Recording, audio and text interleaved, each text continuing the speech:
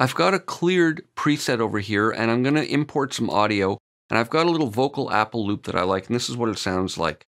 Feels so right, feels so right inside. So I'm just going to drag it in over here and I'm going to use sampler import method and there we go. Now I can trigger it from my keyboard. Feels so right, feels so, feel. So I'm going to go into the edit mode here and we're going to look at the zone waveform editor over here. So here's the sample and we can see the root pitch is E flat, but I want to change it to C so I can trigger it on my keyboard from C. Feels so right, feels so right inside. Now, first thing I want to do is trim the start and end positions of this sample because there's a lot of dead air. So I'm going to drag this up and I'm going to use maybe just the first half of this. So I'll drag it there like that and we can zoom and this applies to this area of the interface as well. We can zoom using this over here and then the middle becomes a scroll bar. So I can tighten it right up like that and let's listen. Feels so right. So that's great. I've trimmed the sample and I can use that now.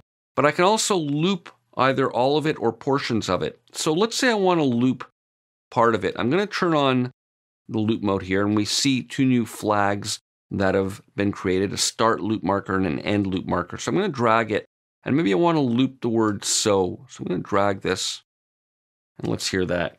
Feels so, so, so, so, so. Now when I release it, it ends and when I go to sustain and I release it, it'll sound the same. Feels so, so, so.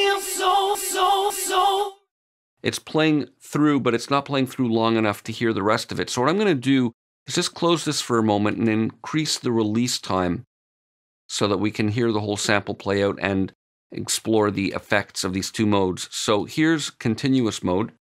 Feels so, so, so, so, so, so, so. It's a long release and it's just looping through that section. But in sustain mode, when I release the key, it'll then play through the rest of the zone. Feels so, so, so, right. Now you can hear there's a little bit of a click when it's repeating this so. Let me zoom a little bit over here. And what we can do is press this loop crossfade button. And this only appears when we import in sampler mode like we did. But it'll basically introduce a little crossfade flag that we can use to set a crossfade range and smooth out the transition. So that works a lot better. And I can, of course, loop maybe a smaller part. Feels so right. Feels so right. So again, you hear the artifacts there without the crossfade. And generally for those kinds of little clicks, you need a very small crossfade. Feels so right.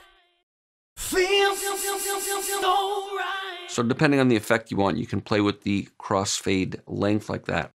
So that's a little overview of this zone waveform editor and its main functions, basically trimming the start and end points of regions and setting loop points.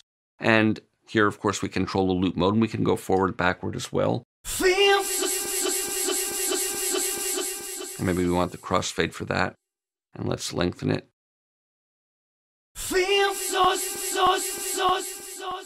Feels so, so, so, so, Getting a little bit of a tick there. Feels so, so, so, so, Feels so, so, so, so, Feels so, so, so, so, so.